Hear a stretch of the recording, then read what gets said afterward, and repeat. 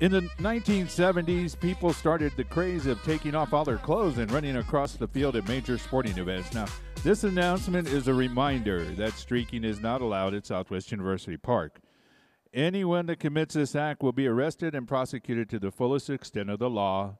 Thank you. Hey, hey, wait a minute, Chico. No, no, no, Chico.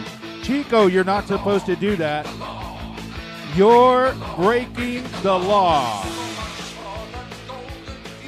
Chico. That's a bad example, Chico.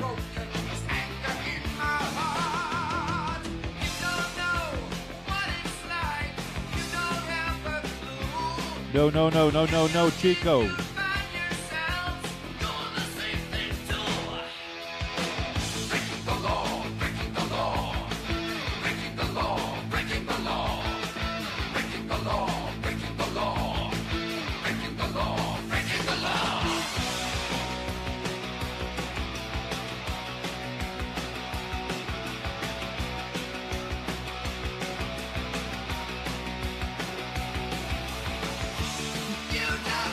Oh, Chico.